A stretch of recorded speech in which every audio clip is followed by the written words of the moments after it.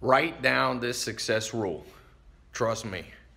If you want to be badass, here you go. Number one, surround yourself only with badasses. Or number two, people who are on their way to becoming badasses. They're not yet, but you see the twinkle in their eye, they see the potential. But remember, these two only work if you follow the third one.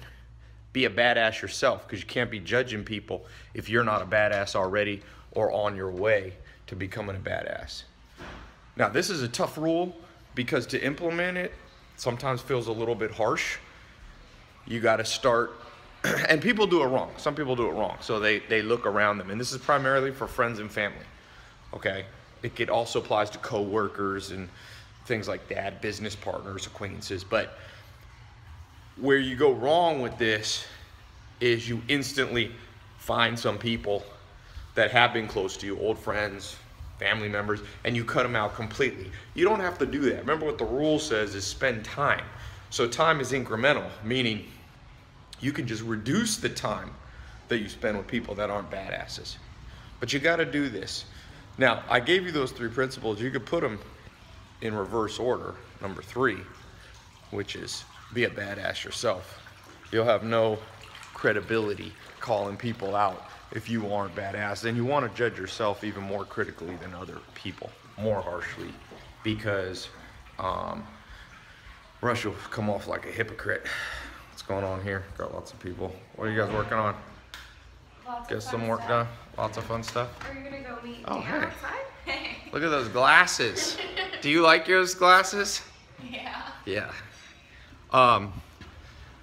So whenever I follow this rule well, life starts to be amazing. Whenever I start to um, compromise and let quality decrease, it comes back to bite me in the butt. So what I try to do mentally is rank where I am one to 10. And then let's say I'm at seven or something like that. Focus on myself first, bump it up. Then I start evaluating people around me. Now I have a lot of employees, so I do it with employees. And I say, you know, work for me. You're either a badass already, or I could see it potential in your eye, or else I'm gonna waste my time trying to work on you, you know, improve your business skills you got to do the same thing. Family's the hardest, but oftentimes the most necessary. Remember, you probably have a big family, so you can pick or choose and spend more time around the people who pass this one, two, three test, and less time. Doesn't mean you have to cut everybody out completely. You don't have to excommunicate them. I lived with the Amish for two and a half years. They have something called excommunication. You don't always have to do that, but uh, you do need to say, the quality of my life is determined by the quality of my surroundings. So, get, oh, gonna get my hair haircut here. Here, can I do that last? Who do you look like? Who does everybody say you look like for all the YouTubers? Jenna Marbles is here to cut my hair. Not really, it's not Jenna, but it looks kind of like it. I'll, I'll, be back. I'll be back in a few. Um, I got lots going on. It the house, Knowledge Society headquarters. Try to keep it active. People say, Tai, what the hell do you do? So much is going on. I'm like, yep, I don't like to be bored or boring. We got a live call. If you're not coming on the daily live calls, you're missing out. I had a dude selling $2.7 million worth of shirts. I had the biggest guy, uh, one of the biggest app guys who built an app. I got chair massage going here. Adrian, oh. you got a tough life, man. Tough life to work for me, huh? This knot is ridiculous. What would Arnold Schwarzenegger say? Ah, get this knot out to me now. uh, see what else is going on. See what Anton's doing. Anton, what's the today's live call about? Reaching success. Are you kidding me? Reaching success. We got all the cameras going, streaming to 72 countries.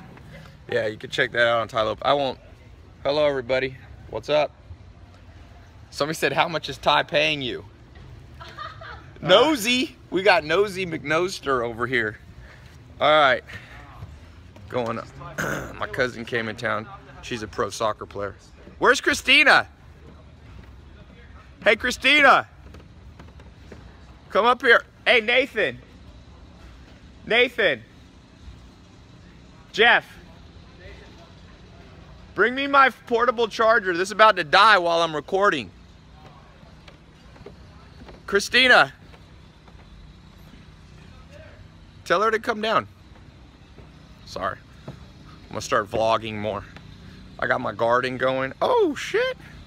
We got the garden going.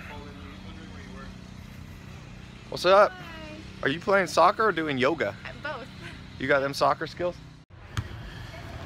Got the garden going. I tilled up over here. They were helping me till up over here. Get this bad boy rock and rolling. Hey, Christina. Come show us some. Let Christina dribble for a second. Christina, my cousin, just got drafted by the Orlando Pride. So, let's see. What's up?